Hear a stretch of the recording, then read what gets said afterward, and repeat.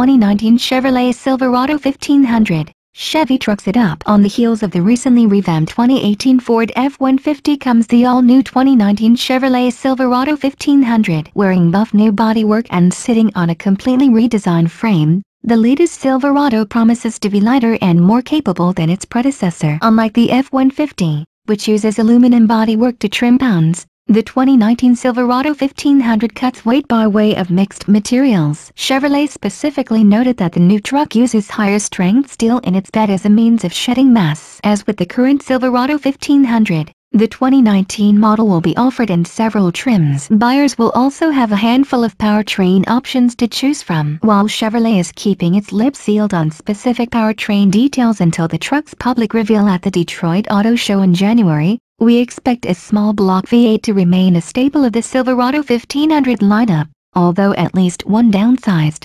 turbocharged offering will likely be added to assuage the fuel economy gods. View 3 photos. Nevertheless, the Bowtie brand was happy to share preliminary details about the Silverado 1500 Lieutenant Trail Boss. Seemingly targeted at the Ram 1500 Rebel, this new Trail Boss variant Chevy said this is one of eight trims on offer for the 2019 Silverado pickup takes the equipment found in the Z71 off-road package and turns things up a notch by lifting the truck an additional 2 inches. With its knobby tires and angry-looking ma, the aggressive 2019 Silverado 1500 Lieutenant Trail Boss gives us our first glimpse of the bodywork that will define the brand's bread and butter truck, which now incorporates flowing lines over its wheel arches and body sides, sports a set of thin and aggressive headlights, and wears attractive scalloped taillamps. While beauty is in the eye of the beholder, the 2019 Chevrolet Silverado 1500's bodywork is far more distinctive than its boxy forebears. Look for more information about the 2019 Chevrolet Silverado 1500 to be added to this space after the model's public unveiling at the Detroit Auto Show.